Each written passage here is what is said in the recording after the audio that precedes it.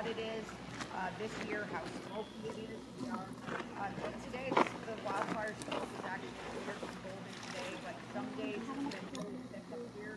And that makes me quite grumpy and less active.